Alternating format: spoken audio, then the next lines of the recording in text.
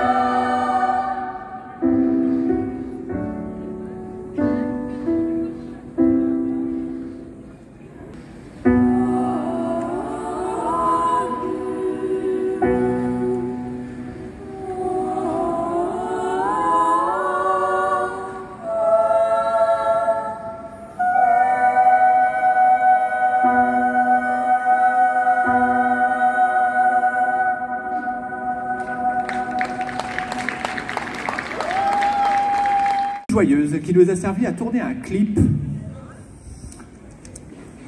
Et euh, c'est pas une pièce religieuse pour le coup, mais c'est une ode à la nature.